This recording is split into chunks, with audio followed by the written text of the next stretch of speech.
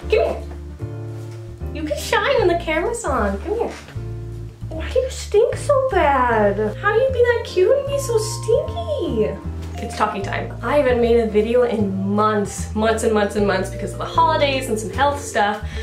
And I got, see? Focus camera. Oh my God! I got engaged. I'm so happy she proposed to me on the beach. The most beautiful, amazing sunset I've ever seen in my whole entire life. It was perfect and beautiful. I'm so stoked. I was so happy. So anyway, I had to share that first because I haven't made a video since I got engaged. She's an engaged bitch. Anywho, I haven't made a video in months and I wanted to talk about something that I've been planning to do a video on for a long, long time. So today I'm gonna talk about, uh, huh? My back hurts and I can't think of the words I want to say. Me just, it's also too hot, but this jacket just looks really cute on me, so I want to wear it for this video. Today I'm going to talk about health and safety in oil painting. There are a lot of toxic materials that oil painters use. So if you have pets or kids, or if you have your own health concerns like respiratory issues or things like that, it can be a little nerve-wracking to dive in. Nerve-wracking because of all these different materials that you have to use and some of them are a little bit dangerous and some of them have weird metals in them and all that stuff. I'm gonna talk about how I paint safely and share those techniques with you and talk a little bit about the materials that I use because some of them need a little extra care than others. I keep you safe. I keep you safe.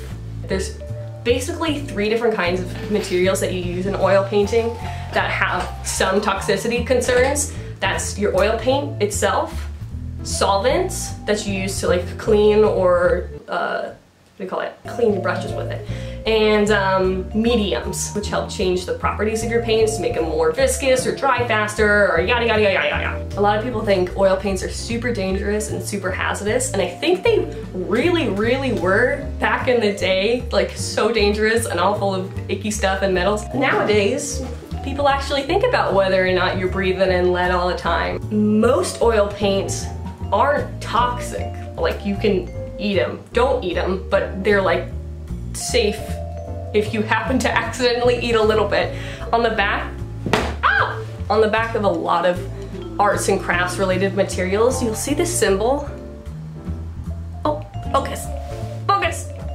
It says AP and that is for a certification program for the Arts and Creative Materials Institute. What that is is an association of a bunch of arts and crafts manufacturers that promote health and safety for products. They have a certification program so that materials can be labeled as to whether or not they're like dangerous, not dangerous. There's been toxicology. How would you explain?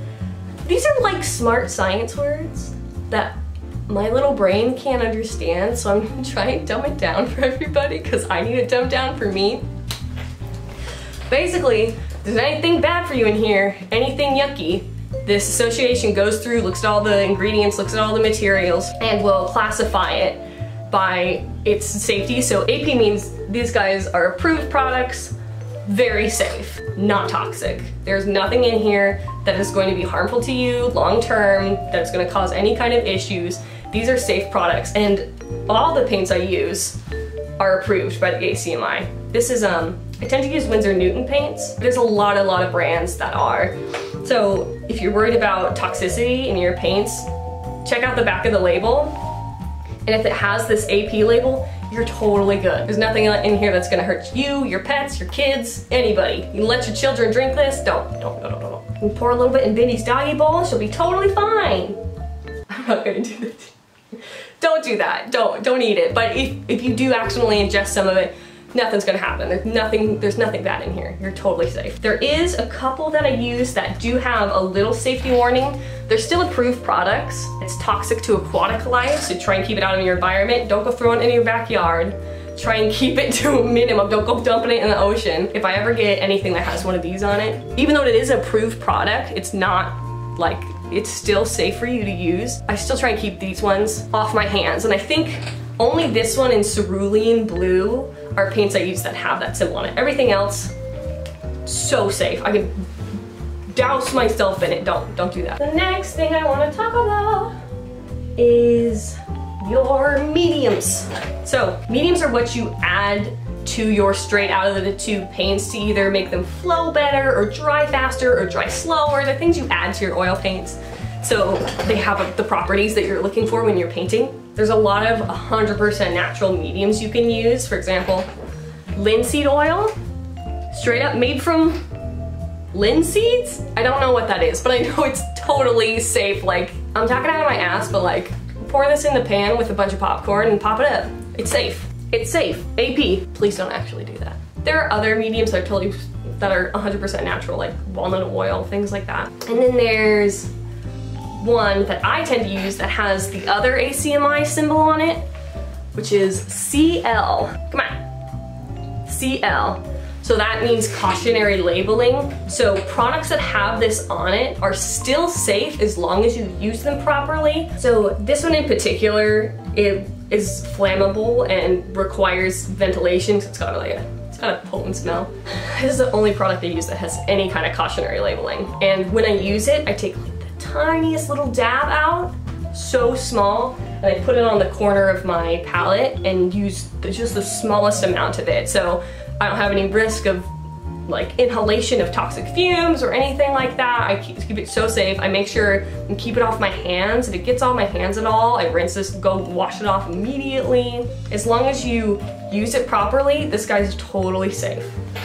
Be careful with it, but it's safe. And then the last thing I wanna talk about are solvents. So I've kind of stopped using solvents altogether. They're nice for cleaning your brushes quickly. See, I put them in this little can, and it's this. Odorless paint thinner, some people use turpentine, some people use some other things. But this stuff is gnarly. It's got a bunch of first aid requirement treatments on the back.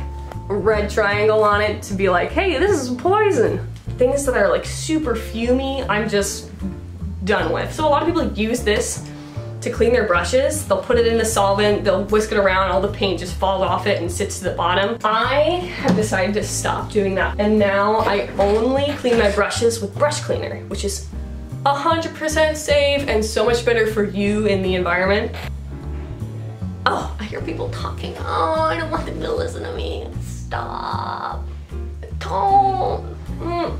Solvents help going from color to color be a much easier process because you just whisk them around, dab them off on a paper towel, and it's totally clean. You can go on to the next color without it smearing all over the place, getting like a bunch of red in your white. But like it does come with a lot of like toxic fumes and you can totally combat that by keeping windows open or painting outside or things like that. I'm just, I avoid it because it's not necessary for the painting that I do. Instead, I have my little jar of water. Say I have this brush, I have white oil paint all over it, and I wanna switch it to a new color. What I do is I take it, I wipe off as much excess paint as I can on a paper towel, super thin, just wipe as much off of it as possible until it's mostly gone. I take it, I dip it in some water, I have my soap, my brush soap, and I mix it all up in there, just pushing it into the bristles, until I have this weird gunky paste of soap and oil paint combo. There we go, look at that. I take that, I wipe it off on my paper towel as well. I switch it in the water again, do another round of swishing it in the soap, wipe it off again on the paper towel, and then once again in the water. Ta-da! clean brush that I can totally dip in the next paint color I need to use. That is more labor intensive than just dipping it in some odorless paint thinner and going on to the next one, but it just makes me feel better safety wise because this stuff is just soap. Brush cleaner, the Masters brush cleaner. I love this stuff so much. I would highly, highly, highly recommend that. And you can still totally use your solvents to help clean your brushes. I just like that. it's also better for your brushes to just use soap as opposed to paint thinner. Cause like imagine if you were putting paint thinner and chemicals, toxic stuff all up in your hair and then washing it every day as opposed to just like soap. It's not that good for your hair. Okay, not that good for your brushes. So think about that too. Um, oh, the last thing I want to talk about, I get a lot of questions about, is fire safety. Everyone thinks their house is just gonna spontaneously combust if they have oil painting materials in it. It's not true. Keep yourself safe, and here's how. Well, here's how you can accidentally set your house on fire. You take a bunch of medium, you dump them all onto a rag, take a bunch of paint, dump them, pour it all into a rag, pile up your rags all in like a box, on top of each other, put them outside in the sun, then you'll, you'll have a fire, guaranteed. What's happening is that as the mediums and the paints oxidize, their temperature goes up, and if they're all layered on top of each other, there's nowhere for the heat to escape. And a lot of these, these materials are flammable, like super flammable. Liquin, crazy flammable. Paint thinners, crazy flammable. So it's just a super, super dangerous mix. So a lot of people ask me how I dispose of my oily rags for painting and I don't have oily rags because that's not how I paint. I use not very much paint at all when I'm doing my paintings because I put my layers on so thinly. So because I don't use a lot of paint and I don't use a lot of solvents, I just wipe thinly my paint onto a paper towel like this and then I set it out to dry flat if you put solvents on here or mediums on here, if you lay them out flat to dry, there's nothing covering it, there's nothing like flammable sitting next to it. Once it's dry, it is totally good to go in the garbage. You just toss it in the garbage. What you shouldn't do is what I said before, dump a bunch of oil and medium onto a bunch of rags and throw them in a garbage can. Bad, bad, bad, bad, bad, bad. If you do use a lot of medium and solvent and have oily rags, what you should do is put them in a practically airtight metal container, like this stroopwafel tin from Trader Joe's. You put them in here, this lid is nice and tight, so it keeps, if like something does set on fire in here, because it's airtight, it, there's not that much oxygen to fuel the fire, it'll keep it safe and protected. And the metal will keep it from burning your whole goddamn house down. If you're extra worried about it, have something like this. You can use a paint can, just like a tin paint can. Use your brain when you're painting. Use your brain, your house won't burn down, you won't get cancer, you're not gonna die of toxic fume inhalation. Be safe, be smart, keep your windows open, keep things off your hands. I always wash my hands super thoroughly after I paint. Or if I get something like Liquin or one of my toxic things on my hands, I immediately go and wash it off if you are working with toxic things, wear a mask. Don't eat while you're painting. I'm so guilty of this because I like to like have a snack and be working at the same time. Try not to eat and paint at the same time because you could be ingesting some of those little um, unsafe particles of yuck. Don't pile flammable materials on rags on top of each other. Be smart, be safe, you're gonna be totally fine. You're good. People think oil painting is this huge toxic thing, but I I just did a bunch of research. I looked at the back of all the labels on all my materials. I read all about things that could be harmful to you when you're oil painting and I made a process that helps keep me safe. And that's all like, it's not, it is not difficult to keep yourself safe when you're oil painting. I promise you, you're not gonna kill your dog, you're not gonna poison your baby, you're not gonna poison yourself as long as you're super careful about what you're using. You want brown-eyed girl. Me and Baby have the same eye color. Look it, we have the same eye color. Baby, we're sisters. Mm. Mm. Thank you so much for watching this video. If you have any more questions about health and safety and oil painting, toss them my way, put them in the comments. I have a website, emilymackeyart.com, that I have a couple paintings up for sale on.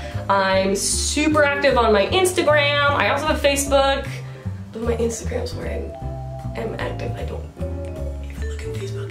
And um, I'm gonna try and be more consistent about posting videos because I really, really, really like making videos. I think they're super fun. Uh, I can't think of anything else. Thank you for watching. Say bye! Bye-bye! Uh, bye-bye!